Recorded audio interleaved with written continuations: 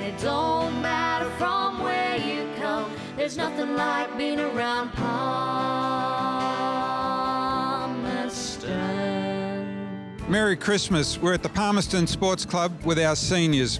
They are having a ball here today, and so they should. Let's talk to Mel Little. She's the boss of marketing, which is pretty important here at the Palmerston Sports Club. Hey Mel, what a great day. Look, it absolutely is, and we're thrilled to have so many of our seniors here. Over 130 took up the offer of a free Christmas lunch. It's great. It is fantastic, isn't it? And our seniors, they are so important to the community. They are, and you know what?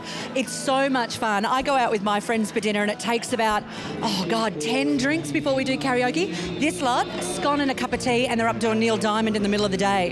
It's wonderful. And uh, these guys, it might take a bit of moving to get rid of them today. I think so, and you're right. We're very, very passionate about our Palmerston members here. And if you haven't crossed the Berrimah line in a while, it's okay. You're more than welcome. So come and say good day. And uh, we are Palmy proud and so excited about really getting into this community and uh, having a ball. John DeKiwi is the entertainment here at the Palmerston Sports Club for the seniors. You have a ball with these guys, and they love you, don't they? Oh, they sure do. And I love them too.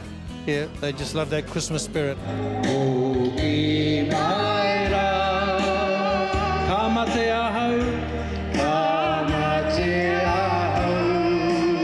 But you're here every couple of weeks with the seniors with their morning teas. Yes, yes, I do their morning teas here, breakfast, and they, they have a free free supper and everything for morning tea, so it's really nice. Yep, excellent. Yep.